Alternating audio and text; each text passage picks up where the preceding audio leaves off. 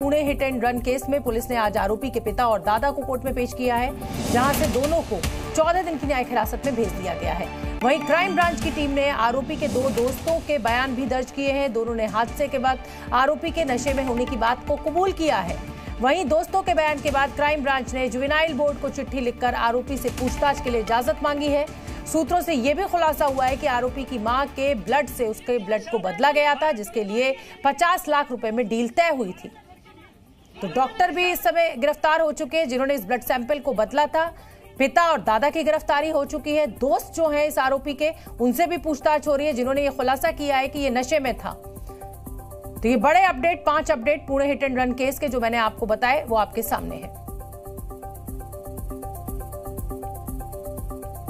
और ये भी बात तय हो गई है, ये पुणे पुलिस भी कह रही है कि आरोपी जो था, वो उस समय शराब के नशे में था। उसके ब्लड सैंपल को, उसकी माँ के ब्लड सैंपल से बदला गया, जिसके लिए पचास लाख रुपए में डील तय हुई।